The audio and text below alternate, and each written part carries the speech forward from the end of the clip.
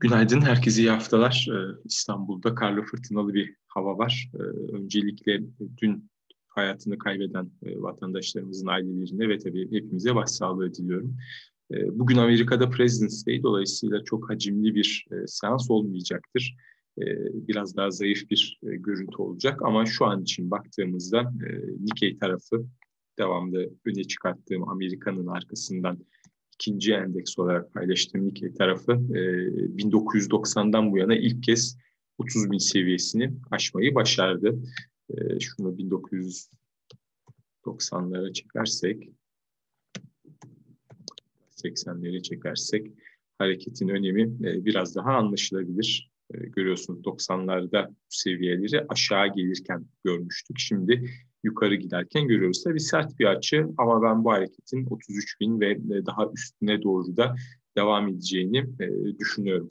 Şimdi Amerika tarafında vadeli piyasalar yine e, rekorlara işaret ediyor ama dediğim gibi bugün biraz daha zayıf bir seans olacaktır. Ben de biraz az önce paylaştığım maildeki temel değerlemeler üzerinden gitmek istiyorum. Belki görenler olmuştur. Bloomberg tarafında çıkan bir e, haber vardı. E, şurada hemen bir saniye o görüntüyü paylaşayım sizinle. Evet, e, Buffett'ın favori değerleme tekniği alarm veriyor e, şeklinde.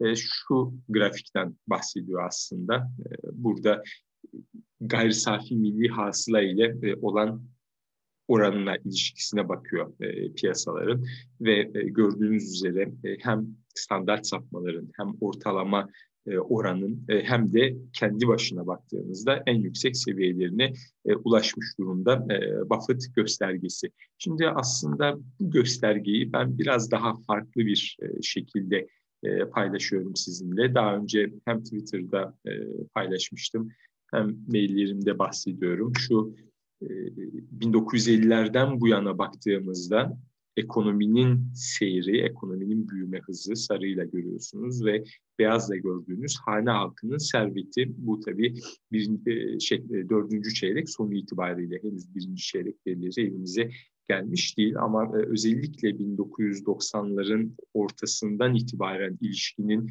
hane halkı servetinin lehine hareket etmeye başladığını, krizlerde e, iki çizginin kavuşup sarılıp öpüştüğünü ardından tekrar makasın çok büyük bir şekilde bu defa açıldığını görüyoruz.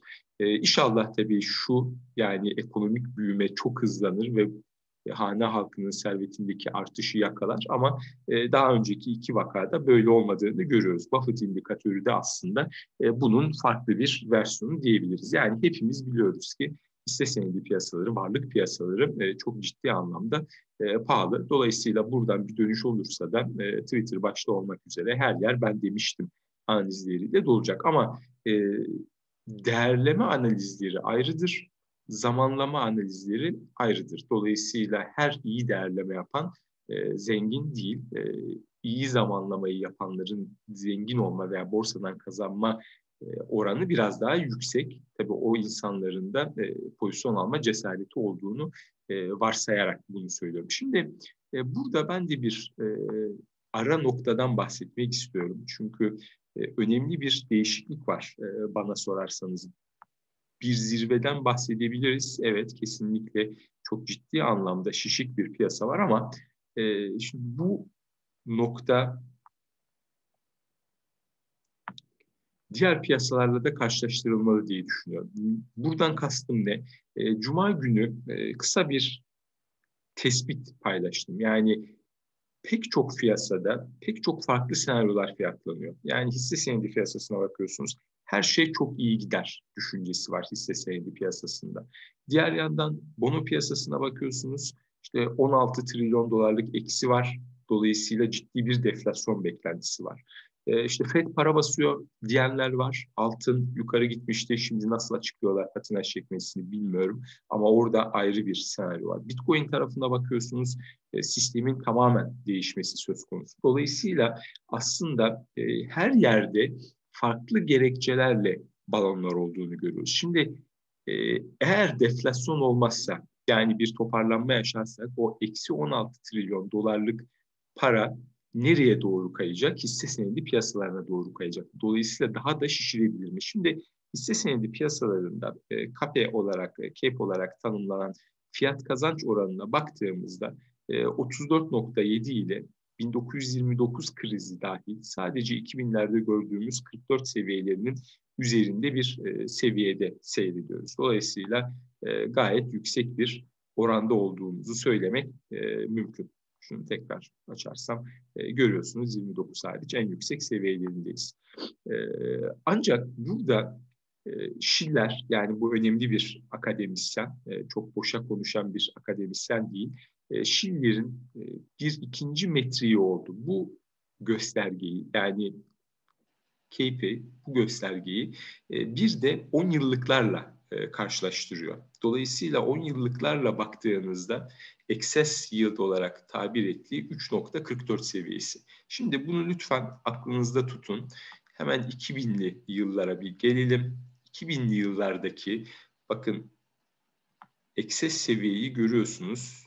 Üçün çok altında, birin altında hatta seviyelerden bahsediyoruz ki 99'larda artık eksiye geçmiş durumda. Yani son derece pahalı bir e, hisse senedi piyasasından bahsediyoruz. Aslında isterseniz biraz daha geriye gidelim. İsterseniz 29 tarafına dönelim. 29 tarafına da dönüp baktığınızda yine benzer bir görüntü gözünüze çarpacak. E, bakın ikilerden başlıyor. Daha sonra sıfır ve eksilere doğru geçiyor. Şu anda kaç demiştik? 3.44. Yani burada aslında söylemek istediğim şu. E, göstergelere baktığınızda çok pahalı olduğunu görüyoruz. Ama burada bir görece karşılaştırma oyunu oynuyorsak eğer şu anda hala çok ciddi anlamda ucuz bir hisse senedi piyasası var. Ucuzun altını çiziyorum. Görece olarak baktığımızda ucuz bir hisse senedi piyasası var. Şurada tekrar piyasa tarafına dönelim görsel olarak bir daha paylaşmakta fayda görüyorum. Amerikan 10 yıllıklarının getirilerine baktığımızda 1998 yılına çekeceğim. Bakın bu tarihe geldiğinizde yüzde altı buçuk civarında 10 yıllıklar vardı. Bu e, bir portföy yöneticisi açısından e, pek çok anlama geliyor ama şu anlama da geliyor. E, size parasını getiren yatırımcıya bakın bu piyasa çok pahalı hisse senedi piyasası, çok pahalı temettü oranı yüzde birlere düşmüş durumda. 10 yıllık getiriler altı buçukta. Böyle baktığınızda altı buçuk getiriyi almamız çok daha ciddi para kazandıracaktır bize diyebilirsiniz e, şu anda bunu diyemiyor para yöneticileri. Twitter'dakiler diyebilir çünkü onların üzerinde bir performans baskısı yok, onların üzerinde işten çıkarılma baskısı yok ama e, bir para yöneticisi mecburen karşılaştırma yapıyor ve hisse senedinin daha ucuz olduğunu görüyor. Az önce de bunu diğer bir temel değerlendirme e, metriğiyle açıklamaya çalıştım. E, excess cape ile açıklamaya çalıştım. Dolayısıyla hisse senedi piyasası çok daha çok daha yukarı seviyelere gidebilir patlamadan e, önce diye düşünüyorum.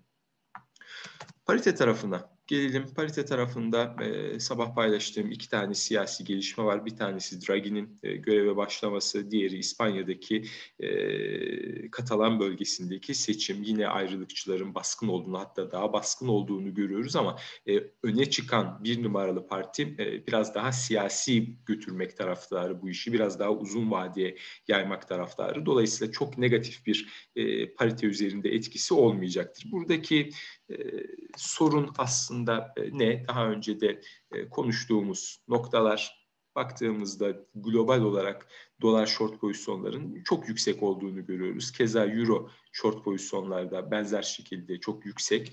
Bu nedenden dolayı bir patinaj çekmesi euronun söz konusu. Hemen şurada dolar tarafına bir göz atalım isterseniz. E, görüyorsunuz 2018'ler seviyesindeyiz. Tamamen euro açısından baktığımızda da çok farklı bir resim çıkmayacak.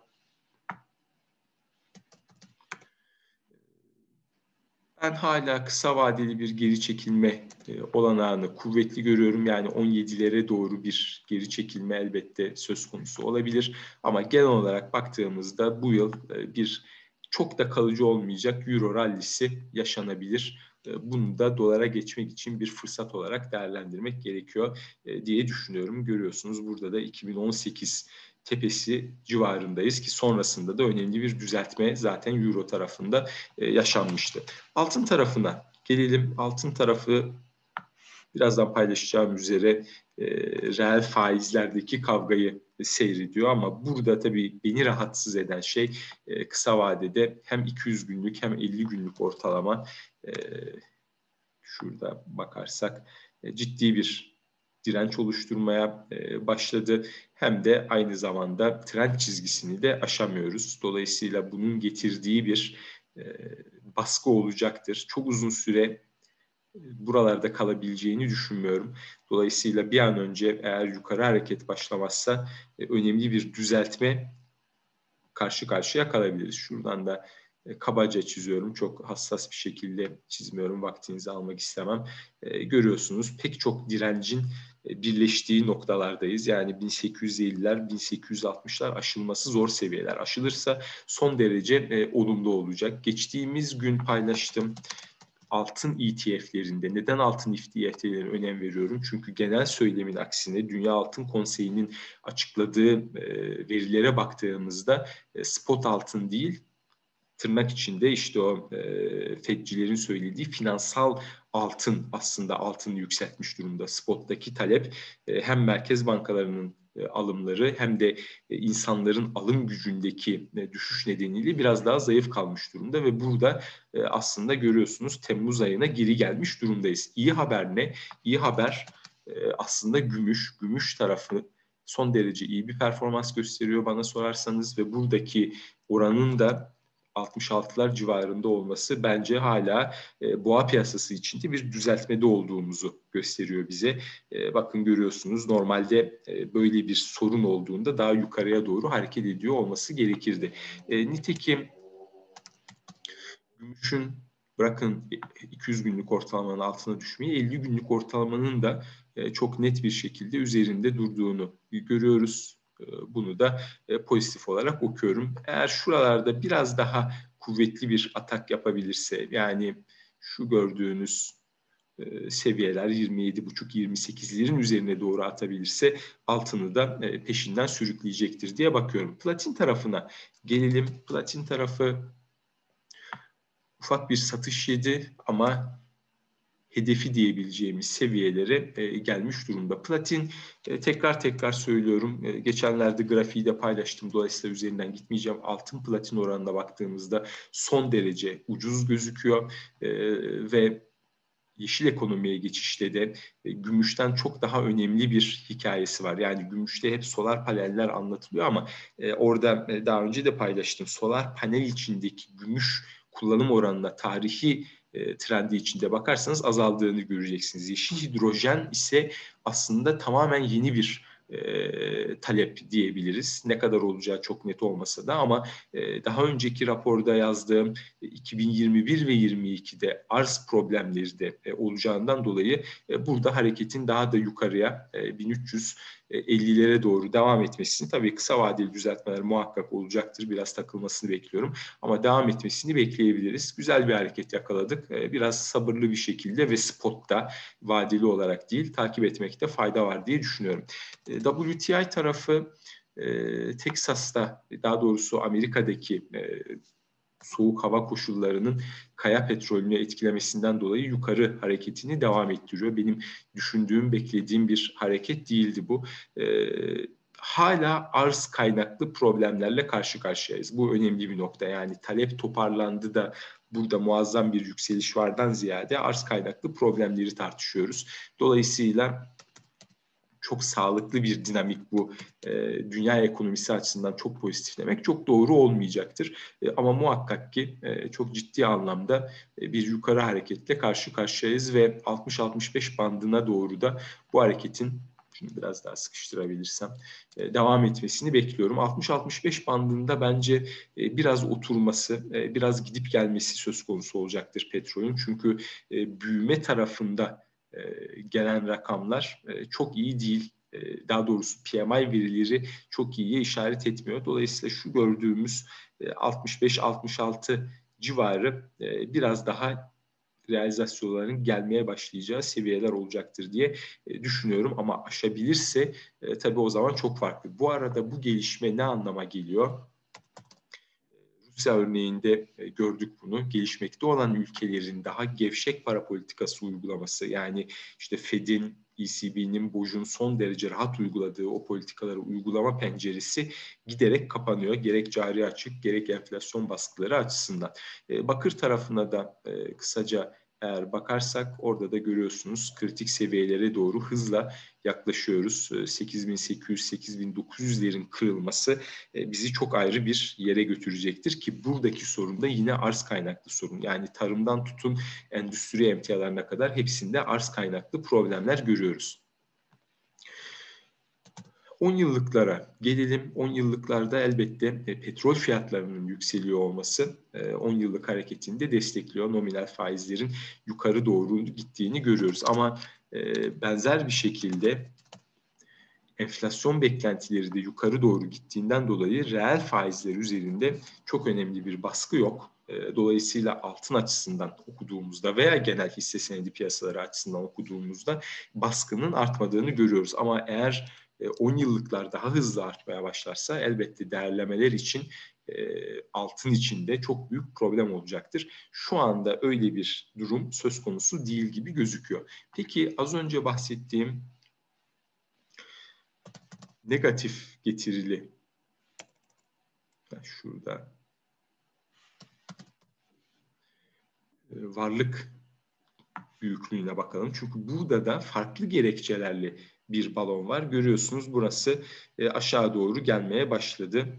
2000'li yıllara gittiğimizde böyle bir durum söz konusu bile değildi. Yani az önce söylediğim gibi evet 2000'lerde bir balon vardı. E, Cape Endeks'ine baktığımızda e, 44'ler seviyesine çıkmıştı. Muazzam pahalı olduğunu görüyorduk. Şu anda da çok pahalı ama 2000 yılında böyle bir resimde karşımızda yoktu. E, o yüzden bu detayları iyi okumamız gerekli diye düşünüyorum. Hisse senedi piyasası hepimizi korkutuyor. Kaldıraçlar hepimizi gözü önünde çok artmış durumda ama e, gördüğümüzden çok daha kuvvetli bir rally ile de karşı karşıya kalma ihtimalimiz hala var. Son olarak Bitcoin tarafına gelelim. Bitcoin tarafında hafta sonunda okumuşsunuzdur. Morgan Stanley'nin de topa girme ihtimali yatırım e, tarafında kolunda inceledikleri haberi geldi ve o haberle beraber e, 50 binleri neredeyse gördük. 9 binlerin üzerine çıktı. E, ama bu sabah itibariyle e, Asya tarafında gelen satışlarla e, bir düzeltme içine e, girdiğimiz gözüküyor. E, burada e, söyleyebilecek çok fazla e, bir şey yok. E, hareketli ortalamayı yanlış attı. Şunun üzerinden e, ortalama aşağı yukarı 20 binler civarında e, olması e, gerekiyor. Dolayısıyla e, zaten biraz hızlı bir şekilde yukarı gitmiş e, durumdayız. Şimdi e, buradaki e, bence tartışılması gereken konu ki Ethereum tarafında da e, sert bir satış geldi. E, şu diye düşünüyorum. E, biraz artık yavaş yavaş bunları da e, göz önünde bulundurmak lazım. Şimdi 2017-2018 rallisinde Bitcoin tarafı aşağı yukarı e, en büyük e, kripto halindeydi ve e, konuşulan şey şuydu e, piyasa değeri açısından baktığınızda bir trilyonu ancak bulan bir varlık sınıfı var. Burada bir çöküş olsa bile sistemik risk yaratmaz. Doğruydu da o tarihte. Ama bu özellikle Tesla alımı sonrasında bazı stratejilerin ben Tesla yani Bitcoin yatırımı olarak Tesla önermeye başladığını görüyorum. E, bu kafamda şu sorunu ulaştırıyor, e, uyandırıyor aslında. Tesla ile Bitcoin'i aynı varlık veya birbirine çok korele gören bir e, para yöneticisi sınıfı olursa ve Bitcoin tarafında önemli bir düzeltmeye girersek Tesla hisselerine satış gelecek mi gelmeyecek mi? Çünkü Tesla tarafında e, yavaş yavaş aslında e, Cuma günü de paylaştım. E, opsiyonlar tarafı pozisyon almaya başlamış durumda bir düşüşe yönelik. Dolayısıyla burada gerçekten bir düşüş e, başlarsa e, daha doğrusu Bitcoin tarafı Tesla'yı aşağı çekerse, Tesla'nın teminat olarak kullanıldığı piyasalarda Tesla üzerine yazılmış e, derivatiflerde vesaire şurada çok muazzam bir çünkü görüyorsunuz uyumsuzluk var ama trend nedeniyle tetiklendi diyemiyoruz o uyumsuzluğa. E, Bitcoin Tesla'yı Tesla genel piyasayı aşağıya çeker mi? Sistemik risk oluşur mu? konusu üzerinde biraz kafa yormaya başladım. Onun üzerinde de bir yazıyı e, ileride e, blogumda paylaşmayı düşünüyorum. Herkese iyi seanslar diliyorum. Biraz uzattım bile.